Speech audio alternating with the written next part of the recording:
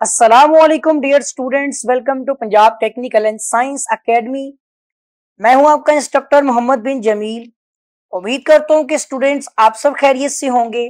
Students हम DA math one two three paper A chapter number five solution of triangle rationalise exercise के according इस chapter के short questions discuss question number nine The sides of a triangle are 16, 20 and 33 meter respectively.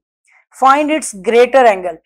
तो देखें अब ये तीन साइडें दी गई हैं एक ट्राइंगल है कोई भी होगी 90 के एंगल की है जो भी है मैंने मिसाल दे रहा हूँ एक कि उसकी एक साइड जो है वो 16 है एक 20 है और एक 33 है तो सबसे बड़ा एंगल जो होगा वो जिसकी साइड सबसे बड़ी होगी ना अगर मैंने इसको ए तो इसको अल्फ़ा बोलूँगा।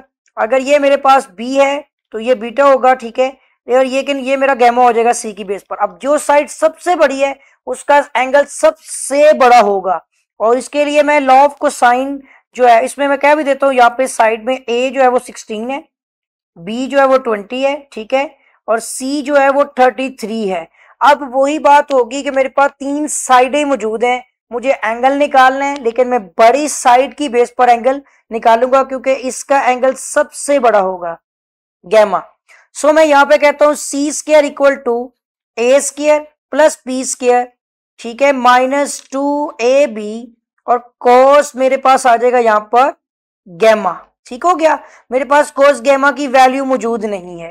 तो यहाँ पर मैं सी की वैल्यू पुट कर लेता हूँ थर्टी थ्री का square is equal to A है सिक्सटीन का स्केयर ठीक है? प्लस बी आ जाएगा यहाँ पे ट्वेंटी का square, and minus two, A आ गया सिक्सटीन, बी आ गया ट्वेंटी, और साथ ही cos gamma as it is आ जाएगा। ठीक हो गया? क्योंकि मुझे यही एंगल निकालना है। इसमें कोई मुश्किल चीज़ नहीं है, बस थोड़ा सा आपने तवज्जो देनी है, और अब हम क्या करने वाले हैं? कैलकुलेटर ओपन कर लिया हमने, और यहाँ पर हमने सबसे पहले नंबर पे क्या करेंगे? थर्टी थ्री का स्केयर लेंगे। थर्टी थ्री का आप स्केयर लें तो ये वैल्यू बनती है वन ज़ीरो एट नाइन ये आ जाएगी वन ज़ीरो एट नाइन और अब आपने यहाँ पर सिक्सटीन का स्केयर लेना है। पहले हम सिंप्लीफाई कर लेते हैं। ठीक है? ये आ जाएगी टू फिफ्टी सिक्स और इसका चेक कर लेते हैं इसका। I think four hundred twenty का स्केयर लेंगे तो ये आ जाएगा हमारा फोर हंड्रेड ठीक हो गया? ये आ गया हमारा फोर हंड्रेड माइनस किया। इनको भी मल्टीप्लाई कर लेते हैं। तो आई थिंक सिक्स फोर्टी बनेगा क्योंकि two multiply by sixteen multiply by twenty तो सिक्स फोर्टी बिल्कुल ठीक है।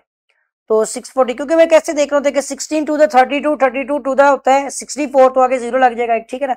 और साथ आपका आ जाएगा कॉस गैमा अब आपने करना क्या है, आपने बाकी वैल्यूज़ को जैसे वन ज़ीरो एट नाइन ये टू फिफ्टी सिक्स भी उधर माइनस कर देना है, और ये फोर हंड्रेड को भी उधर भेज देंगे तो माइनस हो जाएगा, और यहाँ पर आपके पास या तो एक ये सोल्यूशन है, ठीक है ना? और उस तरफ़ आपका आ जाएगा सिक्स फोर ज़ीरो और साथ ही कॉज गैमा नेगेटिव में रहेगा। पॉजिटिव में नहीं नेगेटिव में रहेगा, ठीक है? या तो इस तरह कर लें, या फिर आप इस वैल्यू को उधर भेज दें।